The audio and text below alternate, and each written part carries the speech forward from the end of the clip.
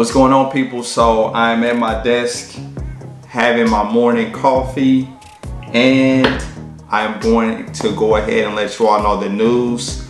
So today I will be putting in my two week notice for corporate America. Uh, it's a crazy feeling. I've been working in corporate America since I graduated college in 2012.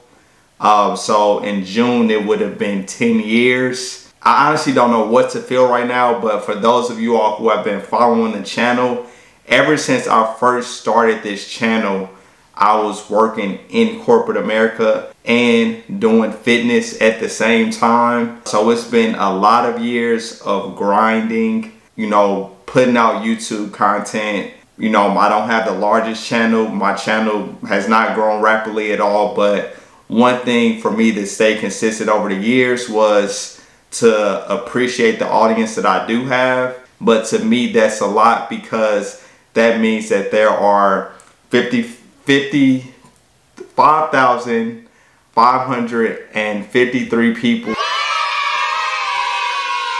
that find what I put out interesting and that means a lot to me. So one, I want to thank my YouTube fam for always supporting me and always being there. Uh, what am I going to be doing next? Um, so currently, I didn't even share this with you all in the vlog yet, but currently I'm essentially working four jobs. So I have my nine to five, I do my personal training in person, and I'm including online training with that. I'm branching that into one thing overall rather than separating them. So that's number two. The third thing, I'm a group fitness instructor at the boxing gym now. So I teach classes, at least four classes during the week where it's boxing and fitness combined. You know, in my road to the ring, the gym you all see me training at in those videos, that's where I teach the group classes. And then my fourth job is YouTube. Whether people realize it or not, YouTube is a job. It is time consuming, especially when you're trying to keep the audience engaged and grow your channel and provide valuable information. So uh, what I'm working on right now is I already, you know, typed up my two week notice and I'm going to be sending over to my manager shortly. But now I'm just finishing up like my daily responsibilities for the transition plan. And, you know, at the end of this month, it will be three years since I moved to Florida with my wife from Chicago. And I even covered that on the channel, letting people know that I moved to Florida to become more immersed in the fitness world, in the fitness industry. And I wanted to get out here because it's warm all year round. A lot easier for me to get to the gym, not have to worry about things like shoveling snow, you know, having to turn your car on for 30 minutes in the morning before going to the gym you know, just different things I don't have to worry about. This is the most I wear in Florida when it's cold. This, this morning it was like 42 degrees. So that was always the goal for me to be able to leave corporate America, but I didn't rush the process. I didn't do it prematurely. I made sure I saved up my money from online coaching, in-person coaching. Now I'm not rich or anything like that, but I made sure to have a nest egg saved up to where when I did quit, you know, I have enough to cover my monthly expenses for, you know, a decent amount of time. So that way I'm not struggling or, you know, having to be extremely desperate to get clients. So that's the big news that I wanted to share with you all. Uh, it, it's hard to put into words what I feel, but I don't really know what I feel right now. Maybe it'll set in um, when it's officially my last day because with two weeks left, I still have work to do. Um, granted, it's mainly going to be transition and stuff. Well, at least that's what I assume it's going to be. But my advice to everybody uh, would be, you know, I'm 33 now, so I wanted to be out of corporate America by the age of 30.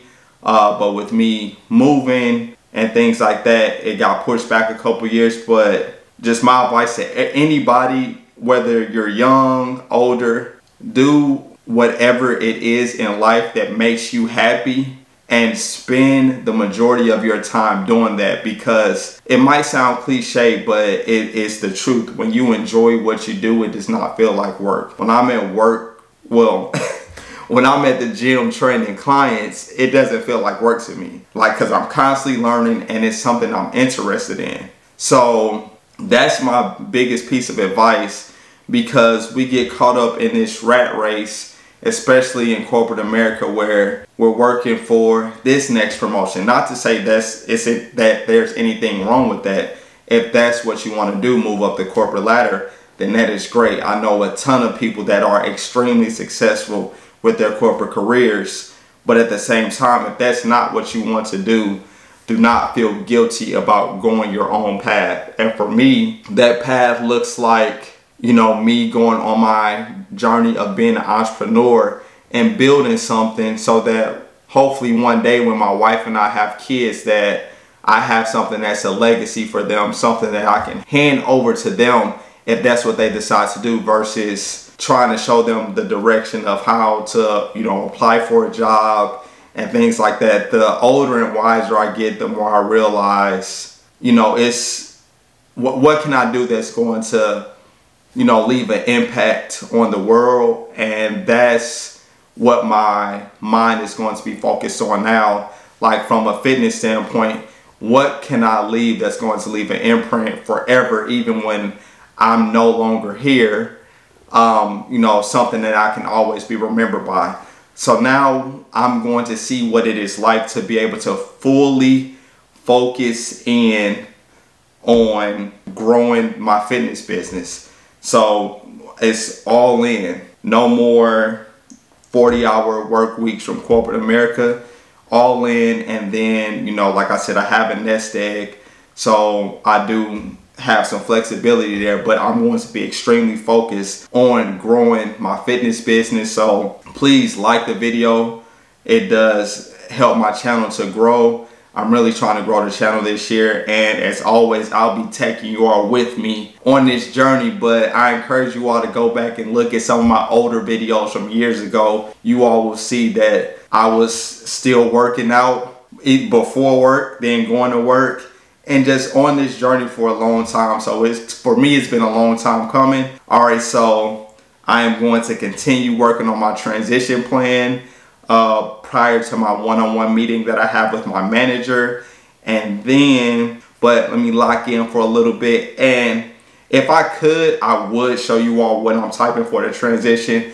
But for obvious reasons, it's corporate America. So I probably shouldn't show that. But, you know, I want to share that with you all. Very excited. And when I do have my last day, I will be showing you all how that worked out and me turning everything in. But also in March, I'll be going live a lot, doing live workouts since I no longer have a corporate job. Uh, these workouts will require minimum equipment for some and no equipment for others. So definitely be sure you turn your notifications on so you do not miss it. When I go live in March, it will probably be almost daily, to be honest with you, depending on my schedule. All right, let me get some work done. I'll catch y'all in a minute. Peace.